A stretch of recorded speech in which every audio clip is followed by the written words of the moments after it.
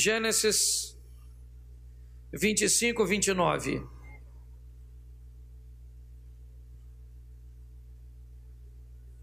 Amém?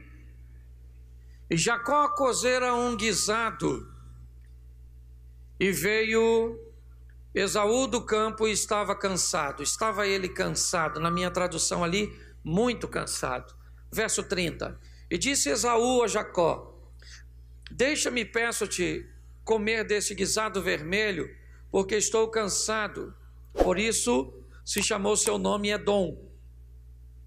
Então disse Jacó: Vende-me hoje a tua primogenitura. E disse Esaú: Eis que eu estou a ponto de morrer, para que me servirá logo a primogenitura? Então disse Jacó: Jura-me hoje. E jurou-lhe e vendeu a sua primogenitura a Jacó. Jacó deu o pão a Esaú e o guisado das lentilhas. Ele comeu, bebeu, levantou-se e foi-se, e assim desprezou a sua primogenitura. Olhe para mim porque eu quero, eu preciso falar algumas coisas com você sobre a valorização do que você tem e o reconhecimento que você precisa ter das coisas que já são suas. Qual é o grande problema entre a maioria das pessoas? As coisas lhes são muito interessantes, as coisas lhes são muito atraentes, enquanto não são suas. Me parece que o ter remove o brilho quando não se tinha o carro, quando não se tinha a casa, quando não se tinha a pessoa, me parece que nós utilizamos de uma valorização muito grande. Mas quando se tem, quando recebemos, quando agora está em nossas mãos, nós costumamos desprezar ou seja, é muito comum valorizarmos mais o que não temos do que o que temos. Essa é uma grande verdade. Quando eu olho para esse texto, eu me deparo com uma instrução que me impulsiona a dizer a você: nunca troque o que você mais quer na vida por aquilo que você mais quer no momento. Deixa eu repetir para você. Nunca troque o que você mais quer na vida pelo que você mais quer no momento. Porque o momento é passageiro. A vida não. Você vai ter que dar conta das suas escolhas. Você vai ter que usar de responsabilidade para com seus atos. O texto me fala de uma família próspera. Eu não estou falando de alguém sem grana, sem dinheiro, sem comida, sem servo. Eu não estou falando. Eu estou falando dos dois filhos de Isaac, os netos de Abraão. Deus falou a Abraão no capítulo 12 de Gênesis: sai da tua terra e da tua parentela porque eu te levarei por uma terra que eu te mostrarei, farei de ti uma grande nação, abençoarei os que te abençoarem, eu vou engrandecer teu nome. As promessas de Deus para Abraão foi uma promessa de prosperidade, de grandeza, e ele cresceu. Seu filho Isaac herda tudo de seu pai. Isaac é um homem próspero, é um homem rico, é verdade. Ele tem dois filhos, Esaú, um homem que me parece ser muito bom. A Bíblia diz: se a árvore é boa, o fruto é bom. Esaú é um bom filho, ele é neto de Abraão, ele é filho de Isaac. Olhe bem, a probabilidade deste rapaz, os prognósticos são muito positivos. Ele vem de uma linhagem boa, que tem uma promessa, ele sobrevive naquela ou naquele ambiente sob uma tradição oral, ou seja, era muito comum as histórias irem passando de seus pais. Então, Isaac devia falar com seus filhos sobre toda a promessa que Deus havia concedido a seu pai. O texto diz que Jacó era um homem caseiro, Esaú, um homem do campo, um homem da caça. Tá certo. Mas o texto diz que um dia Esaú chega, e na tradução que eu usei aqui primeiro, muito cansado. Ele estava muito cansado. E quando nós estamos muito qualquer coisa, o muito sempre nos leva para o perigo. O muito dinheiro pode nos levar para uma autossuficiência que nos faça pensar que o dinheiro é tudo. O muito sem ele, né? ou seja, se eu pudesse usar a frase, diria o muito pouco. não tê-lo também dá uma sensação de que não vale a pena viver, porque os extremos sempre são perigosos. Se você não gosta de ninguém, está muito desinteressado de todo mundo. Isso é muito ruim. Mas se você está muito interessado em todo mundo, isso também é ruim. Se você está com muita fome, isso é perigoso. Pode levar à glutonaria. Se você está muito sem fome, não, não é? Isso pode te matar de inanição. E para os extremos, e hoje o que nós mais encontramos são pessoas extremistas. O que eu vejo é um cara chegando na casa de quem? Na casa de Isaac. Se Isaac não tem comida em casa, você pode ter certeza que na casa de nenhum de seus servos vai ter. Ele é o dono de tudo. Então Esaú chega no lugar que tem comida, sim ou não? A única comida que tem naquela casa é a do Jacó, sim ou não? Claro que não! Ele é filho do dono. O Jacó, me dá aí um pouco desse guisado. Não dou. Ainda não? Ô, dona Antônia, faz o guisado melhor que o do Jacó, que eu estou com fome. O cara é o chefe. Não tem porquê ele tomar decisão. Aliás, tem porquê. A diferença entre Esaú e Jacó é que Esaú valoriza as coisas da terra, enquanto Jacó valoriza as coisas dos céus. E é por isso que ele vai se dar mal, o Esaú. Porque ele chega com muita fome, e na muita fome dele, Jacó está fazendo uma comidinha.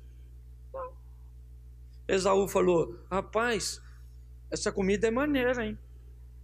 Você me dá um pouquinho? O Jacó falou: Não dou. Tem alguma coisa de errado nisso, sim ou não? Seja franco. Quem aqui cresceu no lar que nunca disse não para seu irmão? Hum? Vou usar seu chinelo. Não vai. Posso tomar banho primeiro? Aqui, ó. Me dá a coxa do frango. o pescoço é seu. Quem nunca disse e teve problema com o irmão? Não tem nada de errado aqui. A implicância sempre foi algo muito comum entre os irmãos. Então o Esaú chegou, olhou para Jacó e disse: Me dá um pouco desse, dessa comida, desse guisado que você fez. Jacó falou: Eu não dou, eu vendo. Ou troco, vamos fazer uma troca. E o cara estava muito cansado muito cansado, muito, muito, muito. Todas as vezes que você está muito, você pode perder o raciocínio lógico. Esaú falou: Joia, quer trocar pelo quê? Pela tua primogênita? Pô. Pô, Jacó, aí não, pô. Minha primogenitura não. Mas o que, que era primogenitura? Era algo espiritual. Era uma bênção e uma conotação espiritual. Isso para Esaú está valendo alguma coisa no momento? Sim ou não? Ele está trocando algo para a vida por algo do momento. Essa é a conotação. Jacó vai ficar sem o guisado que ele preparou para ele comer, mas ele vai ter na mente dele algo muito vantajoso. Você acha que a primogenitura valia mais que o guisado, sim ou não? Você acha? Sim ou não? Valia? O valor é algo simbólico. Valia para mim para você, mas não valia para quem? Para o Esaú. Esse negócio, se vale ou não vale, é muito relativo. Ah, valia, quanto valia uma primogenitura? Primogenitura não tem preço, é algo que não se pode pegar, é algo que não se pode palpar. Quem botou preço na primogenitura de Esaú não foi Jacó, foi Esaú. Deixa eu falar uma coisa para você. Se você hoje tem um Fusca e o cara para com uma Mercedes ali na frente, e você fala para ele assim: Cara, tu troca essa Mercedes no meu Fusca? Tem alguma coisa de errado você perguntar? Quanto vale o seu Fusca? Uns 5 mil. Quanto vale a Mercedes do cara? Uns 500 mil. Mas de repente o cara fala: Oh, eu gostei do seu Fusca. Eu troco. A culpa é sua ou dele? Se ele não sabe o que as coisas valem para ele, isso não é problema seu. Sabe qual é o problema? Hoje tem gente que não sabe quanto custa. Você acha que mulher é igual a sua, você encontra em qualquer lugar. Então deixa a sua e vai procurar para você ver se acha uma igual a sua. Você acha que pai igual ao seu, encontra em qualquer lugar. Então sai de casa e queira ser dono do seu nariz e você vai descobrir o quão, o quão caro é um nariz. Porque só você não sabe o valor porque é seu pai que paga o seu nariz. Ah, eu quero ser dono do meu. Eu nem te vendo, eu te dou. É o seu nariz que você quer? Toma! A partir de hoje você paga a luz do seu quarto. A sua parte da TV a cabo. O ar-condicionado. As pessoas que vão passar sua roupa. Cruzes. Nem parece que é meu pai. Nariz custa caro, filho. É ou não é? É que você. Então, o que nós vemos é o seguinte: pessoas que não sabem o valor daquilo que tem. Eu estou olhando para alguém desse jeito. É uma proposta absurda? Não foi. O cara aceitou. Sabe o que que Jacó ouviu de Esaú? Para que que eu quero a primogênita? Se eu vou morrer de. Que morrer de fome, cara. Morrer de fome onde? Será que você é capaz de entender o que que o Esaú está fazendo com o que ele está vivendo? Ele está potencializando. Ele está dando uma dimensão para a situação dele que ela é ilusória, ela não é real. Ele está dizendo: Eu vou morrer de fome. Você não vai morrer de fome, a sua casa tem comida. Tem gente aí para fazer, mas ele superdimensiona o que ele está vivendo, e por ele superdimensionar isso, ele vai ter problema, porque a primogenitura que ele está negando foi Deus que deu. Ele está virando as costas para Deus, e é isso. Casa com mulher errada, ele só faz coisa errada. Quando você vai olhar a história dele, se você quer saber por que que Deus disse que o maior serviria ao menor previamente, porque Deus é onisciente. Não é porque Deus tem preferido, não. É porque a preferência era de Esaú. Era ele. Mas como suas decisões, suas escolhas, suas conexões foram erradas e Deus já sabia disso, falou para sua mãe: o maior servirá ao menor. É isso. Ele vende a primogenitura ou troca, come o prato de lentilha que provavelmente a maior parte dele ficou no ventre e foi embora. E o Jacó está com a sua primogenitura. Sim ou não? Sim. É muito importante eu entender que eu preciso valorizar o que eu tenho. Todas as vezes que eu valorizo o que eu tenho, eu passo uma mensagem para Deus. Que eu sou alguém que sou capaz de valorizar. O que? Aquilo que eu tenho, porque se eu tenho, foi Deus que me. A Bíblia diz que o homem não recebe nada que não seja. Então tudo que eu tenho foi Deus que me deu. Então eu tenho que aprender a valorizar o que? O que é meu. Se eu valorizo aquilo que eu recebi, eu sou capaz e apto de receber novas coisas. Se eu não valorizo o que eu tenho, para que que eu vou receber coisas novas? E preste atenção, isso é um hábito, eu não, eu não sei como é que eu posso chamar isso. Você conhece alguém que tem um guarda-roupa pequeno, bagunçado? Já se, né, essa palavra guarda-roupa que fica mais fácil um guarda-roupa todo bagunçado. O que, que essa pessoa diz? É bagunçado porque eu não tenho? Não tenho? Ele compra um maior. Fica arrumado ou bagunçado? Porque ainda é pequeno. Compra um maior. Fica bagunçado ou arrumado? Porque a bagunça não está no espaço, está nele. Porque o cara que é arrumado, ele tem uma caixa de papelão e está tudo arrumado. Quem aqui já fez caixa de papelão de armário? Levanta a mão. E, tem uma turma aí. Quem aqui já levou caderno para a escola no saco de arroz de 5 quilos? Que isso, parceiro? Tamo junto, como diria Romário.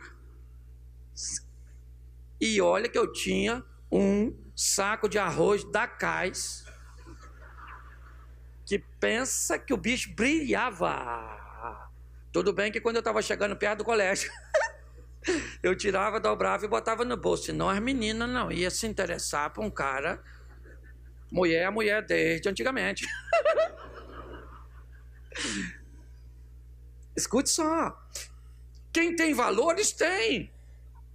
Por isso que a Bíblia diz: quem é fiel no, vai ser fiel no, e quem não é fiel no pouco, não vai ser uma mulher, é isso que ele está dizendo. Fidelidade é apenas uma opção. Eu optei. Então eu sou feliz com 10 reais dando um de dízimo. Dando 50 centavos de oferta. Isso é fidelidade, sim ou não? Sim ou não? Vamos lá. Eu ganho 10 mil. Eu dou 200. Eu sou fiel, sim ou não? mas eu dei 20 vezes mais do que o outro. Você consegue entender? O que nós estamos vendo é o que? O cara valoriza o que? O que eu tenho. O que, que eu tenho? É o meu guisado. Então ele é meu, eu boto o preço nele. E qual é a sua primogenitura? Bom, eu valorizo o meu, mas valorizo o seu. Na verdade, Jacó valorizava o que ele tinha e o que ele não, por isso que ele passou a ter. Ele sabia o valor do que ele queria. Sim, mas ele sabia valorizar o que tinha. E foi isso que levou esse camarada para onde? Esquece a visão profética. Eu estou dizendo de atitudes. Alcançar. O tempo passou, passou. Está tudo tranquilo. Chegou o dia de Isaac abençoar seu filho mais velho. O homem que vai receber a bênção da primogenitura, a bênção do governo, da transição né, familiar ali. E esse homem quem é? Quem é? Esaú. Sim ou não? Sim ou não? Sim. Só que Esaú fez uma negociação com quem? Mas ele falou para Isaac? Falou? Esaú teve coragem de dizer: Pai, não me chama não. Vai lá e chama meu irmão. Ele fez isso? Não. Por quê? Porque quando ele tomou a atitude de negociar, ele não sabia o que estava fazendo. Se você analisar direitinho, a necessidade dele subtraiu o seu senso de inteligência, capturou, saqueou seu raciocínio. Só que ele já tinha comido. Como é que devolve agora? Não tem mais como devolver. E agora ele quer o que pensa que é dele. Não é mais dele, já era. Você pode olhar, mas pastor, Rebeca com Jacó, ludibriou Isaac? Sim, sim, mas não precisava de nada disso.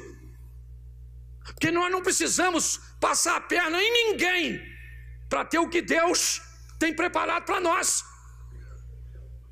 O que é nosso, é nosso em Deus, a menos que nós não tomarmos a decisão de irmos buscar. É só isso. Nós estamos caminhando, gente, por um ano de ações. Um ano de fazer as coisas acontecerem. Porque o ano, gente, esse ano voou. Sim ou não? Voou, mas simplesmente foi a jato. Quem fez, fez. Quem não fez, olhou os outros fazer. Essa é a grande verdade. Ó, esse ano nós expandimos para lá. Compramos o nosso terreno dentro de uma entrada e já pagamos seis prestações. Ó, esse ano nós batizamos o que aí, 80 e pouco no primeiro? Olha só, 70, mais ou menos 110 pessoas, estamos recebendo gente, Eu não sei na sua vida particular, mas pensa no. Foi um ano de pressão. Foi um ano que o Satanás trabalhou bonito.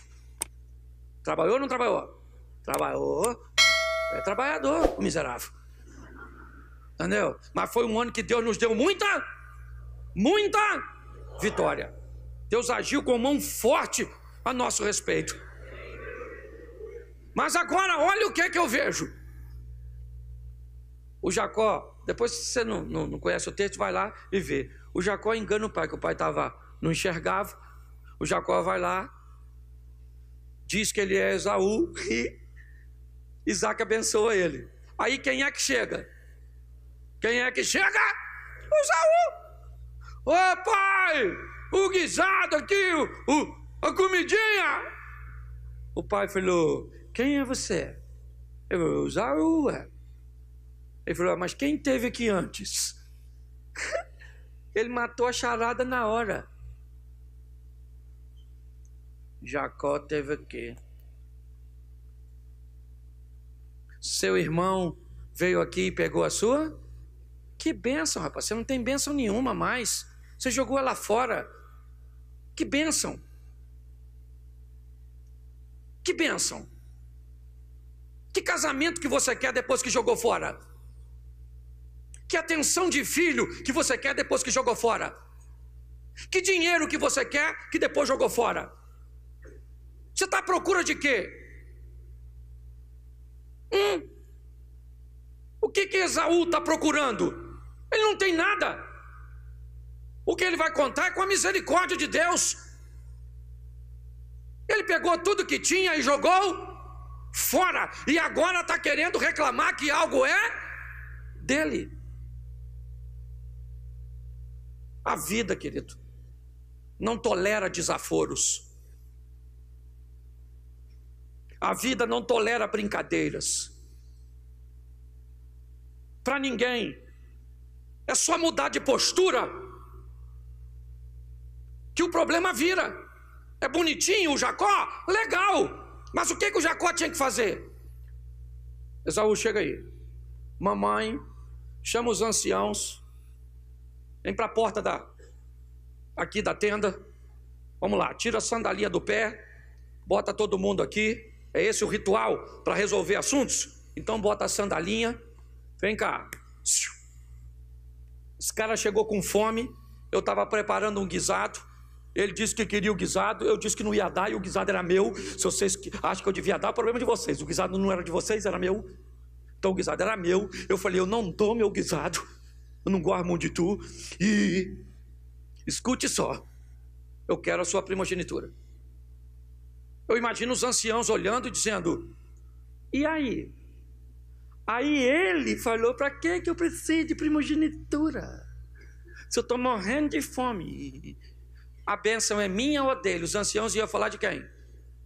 De quem? De Jacó ou de Esaú? Porque é assim que resolve o problema.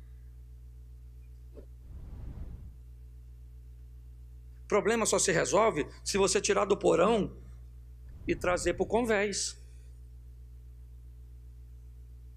Sabe por que a maioria das pessoas se dão mal? Porque querem resolver problemas no porão, na escuridão, não querem deixar ninguém ver, querem vender uma imagem. Então tá bom, querido. Ele vai se potencializar e o que você tenta ocultar no escuro, ele vai explodir e vai vir à tona.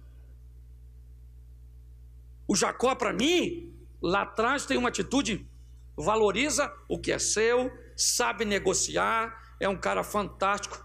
Mas agora, a hora de tirar um 10, ele não fala nada, engana seu pai, não precisava ter enganado, expôs sua mãe, não sei que tipo de problema ele criou entre Isaac e Rebeca, porque agora o que existe entre os dois rapazes é a possibilidade de um homicídio doloso. Esaú disse: Eu vou matar Jacó. É só papai morrer. A hora que papai morrer, eu mato ele. Sabe o que, é que Jacó faz? Foge para Padã Arã.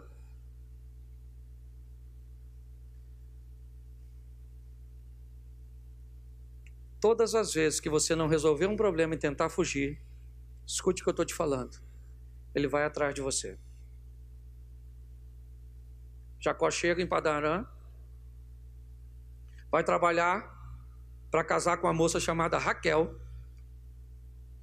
Trabalha quantos anos? Quantos anos? No dia do casamento. No dia do casamento. Sete anos o cara trabalhando. Cadê o Esaú? Esaú está onde? Ficou para trás. Jacó agora está em Padã, trabalhando para Labão, para casar com uma menina linda chamada Raquel. Sete anos o cara trabalha, vem o dia da festa, a noiva é preparada, adornada, banhada, perfumada, arrumada, coloca a dona na tenda, rostinho coberto. E o Jacó? O Jacó está lá tomando uns graus, dando um rolé assim com, com os homens. Isso, fazendo sua despedida, maneiro, escureceu, isso, o Jacó meio chapado, enfia o Jacó na tenda. meio chapado, sete anos para trabalhar por uma mulher. Você acha que ele vai tentar ver quem é? o cara vai passar o serão na dona, é não é verdade? Sete anos trabalhando para a dona, ele olhou. Tá aí quem é? Uma mulher. Pode ser até Aracida Almeida. Eu, na verdade, eu vou pegar. O cara tá na febre do rato. Trabalhou sete anos, tudo escuro, pela mulher, olhando a mulher. Eu penso ele, ele trabalhando e olhando para Raquel. Ah, Raquel. Pois é, vou pegar você. Sete anos olhando, filho. Foi, meu. Ele pegou. Pegou. De manhã, quando ele acordou, porque se ele não tivesse pego, dava para anular o casamento. Ele não mexeu com ela. Mas como ele pegou, que ele olhou para o lado, menino. e falou: Que maluco. Não era essa mulher. Ih, cara. Essa não é Raquel, não. É Lia. Lia tinha um olho para arquibancada, o outro para geral. Era meio bagunçadinha. Escute só. Ele levantou e correu na casa de quem? De quem? E falou porque, rapaz, Labão, você me engana. Ele falou, mas na cabeça dele, sabe o que ele deve ter pensado? Azaú, te dei uma volta, você não veio, mas mandou seu secretário. Porque Deus não se deixa escarnecer. Tudo que o homem semear, isso também se fará. Agora ele está casado com quem? Calia. Trabalhou mais sete anos. Alguns dizem que ele ganhou a Raquel logo de. Não trabalhou sete para casar com ela, não. O, o, o, sogro reformulou a proposta, falou: Eu te dou ela para casar, você já leva, mas tem que trabalhar mais sete. O tal do Labão defasou o salário do Jacó dez vezes. Labão devia ser o cara do INSS, desvalorizando o dinheiro dos aposentados. Pois é. Precisava de tudo isso? Sim ou não? Sim ou não? O Esaú se ferrou na vida, por quê? Porque Deus jogou sobre ele uma maldição? Sim ou não? Claro que não. Ele se ferrou porque não soube negociar e valorizar aquilo que era o Jacó. Se ferrou. Casando com a Leia ou com a Lia? Sim ou não? Por quê? Porque Deus amaldiçoou ele? Não, porque ele não ficou lá para resolver seu problema, para equacionar suas coisas, para botar as coisas claras. Ou seja, eu não estou vendo nada do Satanás aqui e nem de Deus. Eu estou vendo de gente que toma decisões equivocadas. Só que esse pessoal, ele caminha com Deus. E Deus sempre procura corrigir a situação. Um belo dia, Deus diz a Jacó: pega tudo que tu tens e volta à terra de seus pais. Por quê? Porque precisa consertar alguma coisa lá. Tem alguma coisa que ficou para trás, que precisa ser corrigida. Você pagou um preço alto, seu irmão pagou outro preço alto. Eu não puni ninguém, vocês acabaram se punindo. E agora, o que acontece? Ele volta, se encontra com Esaú. E quando ele encontra com Esaú, Jacó diz, amedrontado: Ô oh, meu irmão, toma aqui todos esses presentes, tudo isso, toma tudo aqui para você, provavelmente com medo do irmão matá-lo. E Esaú disse: Não, rapaz, eu não quero nada, pode ficar com tudo que é seu. Os dois se abraçaram, se beijaram. No dia do enterro de Isaac, os dois estão juntos. Mas não precisavam ter vivido nada disso na sua jornada. Nada. Por quê? Porque não precisavam ter tomado as decisões. Ô, gente, você quer ver o que é uma sequência do que Deus vai fazer na vida de alguém sem erro? Veja a vida de Jesus. Se você pegar de seu nascimento à sua morte, você não vai ver um equívoco dele em ações que geraram reações danosas. O dia que tentaram apedrejá-lo, ele simplesmente virou as costas e saiu andando no meio deles. A vida de Jesus é pautada em quê? No plano que Deus tinha para ele. E aí eu estou usando o Jesus homem. E não há nenhum desvio, por quê? Porque ele programou viver do jeito que foi planejado. Vem aí um ano de se realizar. Com o quê? Com decisões assertivas. Estabelecendo primeiro sonhos alcançáveis. Agora, se você ainda é daquele que quer botar a culpa na sua mãe, você quer botar a culpa no PT, você quer botar a culpa no PMDB, você quer jogar todas as suas fichas em Jair Bolsonaro, você quer falar mal de seus pais, é a igreja, é o seu professor, é a internet. Querido, posso falar para você? Durante um bom tempo da minha vida, eu tentei achar culpados para o que eu vivia. Até que um dia eu me deparei com a dura realidade de que o maior culpado de tudo que eu vivia era eu.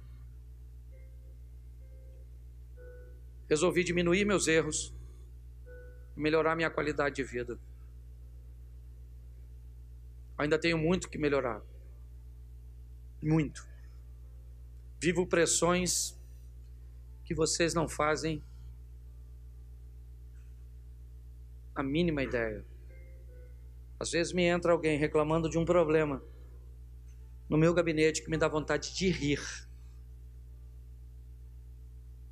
Porque quando eu vou medir com aquilo que eu estou vivendo, eu fico imaginando, Senhor, parece que é um mentiolate no joelho de uma criança.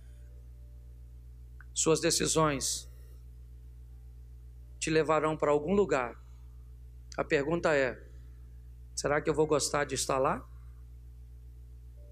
Coloque isso no seu coração. Para o seu futuro, duas coisas podem acontecer: sorriso ou lágrimas.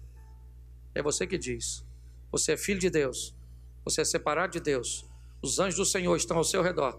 Ao derredor está o diabo. Ele não pode tocar em você nem em mim, porque o Deus que nos protege é mais poderoso. Mas você escolhe